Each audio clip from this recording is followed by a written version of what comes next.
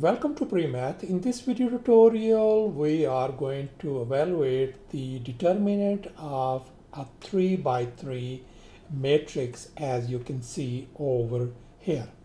And here is very first example and we are going to find the determinant of this 3 by 3 matrix. As you can see, this has three rows and three columns. And one more thing, the determinant of this 3 by 3 matrix can also be written as like over here I showed you in a, like a straight up vertical lines.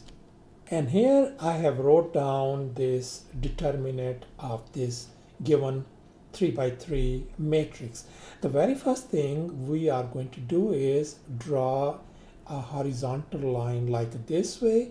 The very first thing next is we are going to crisscross. We're going to multiply first this way. We're going to multiply negative 4 times 3 is going to be negative 12.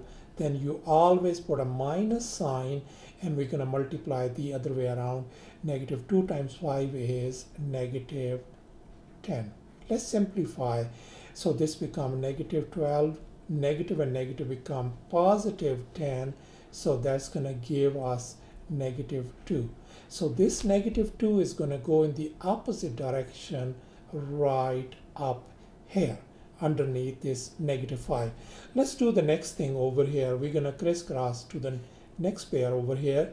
So this is going to be a negative 2 times 0 is going to be 0 put a minus sign again 1 times 3 is 3 0 minus 3 is negative 3 so this negative 3 is going to go in this opposite direction negative 3 and now the next thing is I want you to look at this the very first column on the left hand side.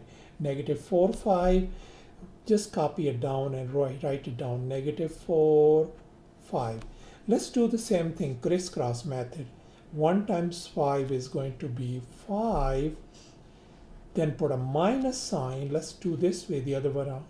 0 times negative 4 is going to be a 0 so 5 minus 0 is 5 so this 5 is going to come in the middle right up here.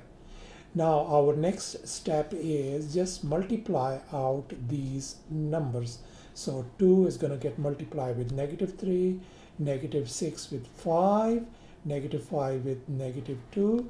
Let's take care of that one. That's going to be negative 6 minus 30 plus 10. And if you simplify this thing, that is going to give us negative 26. So thus our answer turns out to be negative 26 as you can see over here and I have showed you two different ways to write these determinants. And here is our next example and we are going to evaluate the determinant of this 3 by 3 matrix. And once again, the, the determinant of 3 by 3 matrix could also be written as like as over here as I showed you vertical straight up lines. And here I have wrote down this determinant. So the very first thing we are going to draw a horizontal line right up here. The very first thing we are going to do is we're going to crisscross these numbers. Negative 1 times 12 is going to be a negative 12. Then I'm going to put always minus sign and then the other way around negative 8 times 4 is negative 32 let's simplify negative 12 negative and negative becomes positive 32 that is going to give us 20 so this 20 is going to go in the opposite side over here. I wrote down this 20 right here. Let's take care of the next these numbers. Crisscross these one as well. Negative 7 times negative 8 is going to be positive 56 then we put a negative sign and then 12 times 9 is 108. Let's simplify. So that's going to give us negative 52. So this negative 52 is going to go in this opposite direction over here. And now we're gonna put down the number over here for that one. Let's look at this number, this column, negative one, four, the left hand side. Let's copy and paste over here, negative one and four. Let's do the crisscross method once again between these numbers.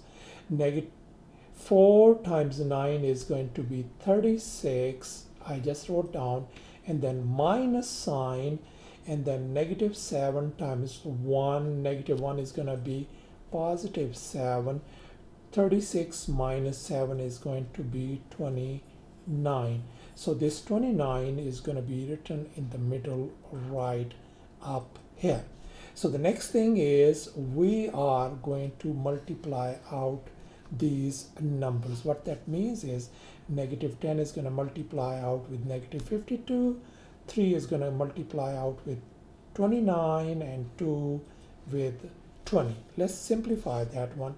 So that is going to give us 520.